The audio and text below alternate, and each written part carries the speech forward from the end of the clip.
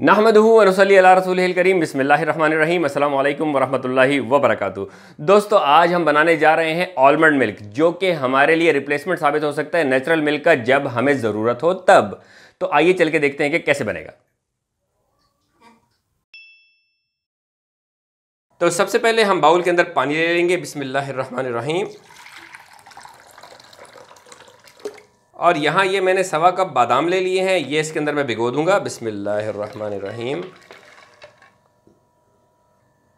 और इन बादामों को मैं ओवरनाइट भीगने के लिए छोड़ दूँगा।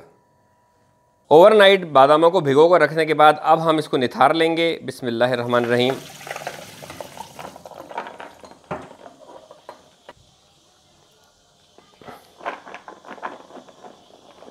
और फिर इसको रेंज भी कर लेंगे।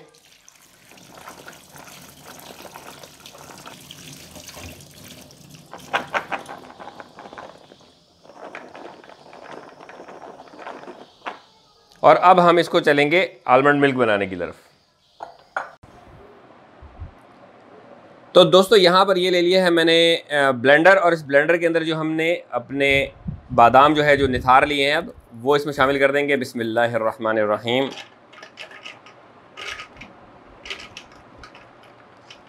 जैसे कि मैंने बताया था आपको कि ये सवा कप बादाम है। और इस सवा कप की मुनासबत से मैं इसके अंदर पाँच कप पानी शामिल कर रहा हूँ। बिसमीम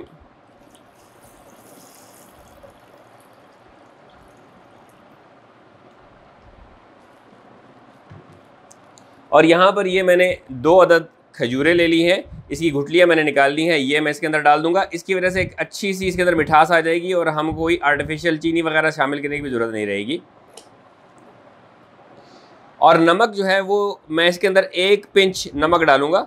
और ये नमक ऑप्शनल है। मैं ये समझता हूँ कि नमक डालने से थोड़ा सा इसका जायका जो है वो ज़्यादा उभर के आ जाता है।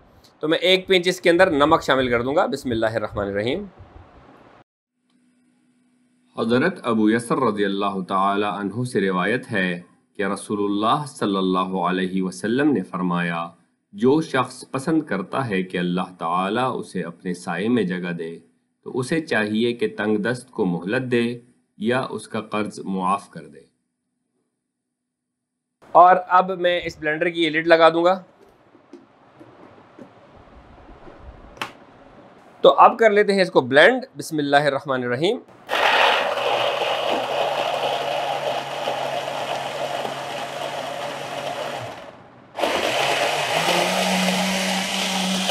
इसको हम एक से डेढ़ मिनट के लिए अच्छी तरीके से ब्लेंड होने देंगे।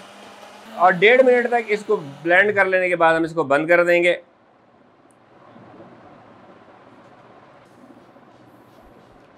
तो दोस्तों, अब यहाँ पर ये मैंने एक बाउल ले लिया है, उसके ऊपर ये मैं स्ट्रेनर प्लेस कर रहा हूँ। और ये मैंने मलमल का कपड़ा यहाँ ले लिया है। और इस मलमल के कपड़े को मैं इसके अंदर यूँ करके लगा दूँगा। और जो हमने अपना आमेज़ा तैयार किया है, उसको हम इसके अंदर पोरन कर देंगे। बिसमीम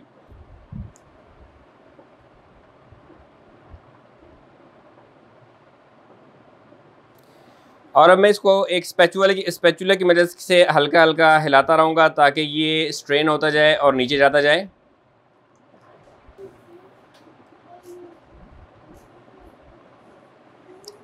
इसको अच्छी तरीके से स्क्वीज़ करेंगे।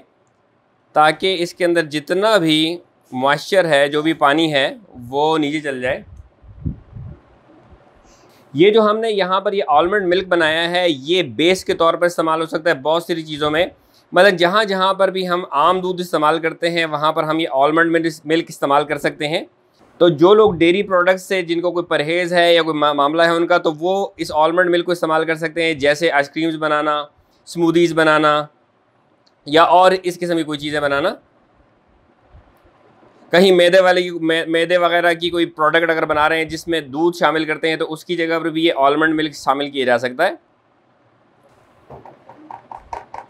अब आप यहाँ पर देख रहे होंगे कि मैंने इसका मोस्टली जो इसका वाटर है, वो स्ट्रेन कर दिया है। और अब इसको मैं चारों तरफ़ से ऐसे लिफ्ट करूँगा कपड़े को।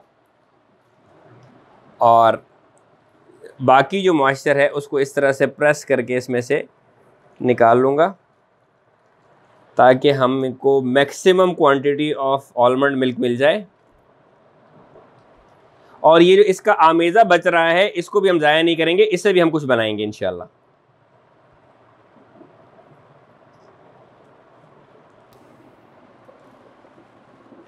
और ये देखिए, ये हमारा अब ऑलमंड मिल्क तैयार है। अब इसको हम शिफ्ट करते हैं किसी जग वगैरह में। बिस्मिल्लाहिर्रहमानिर्रहीम।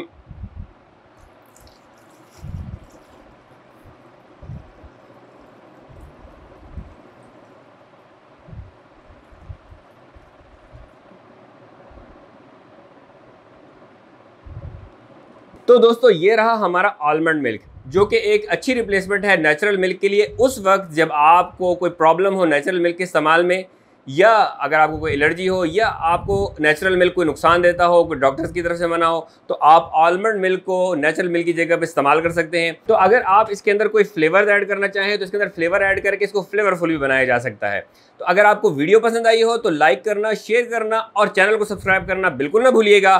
तो इस वक्त इजाज़त दीजिए माजिद रेसिपी ट्रायर को। इंशाल्लाह फिर मिलेंगे मजीद रेसिपीज़ के साथ। तब तक के लिए असल वरहमल वर्का